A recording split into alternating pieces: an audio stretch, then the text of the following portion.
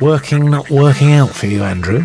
Well, step away from the spreadsheet and take back the time you once called lunch. Battle the grid, not the graph.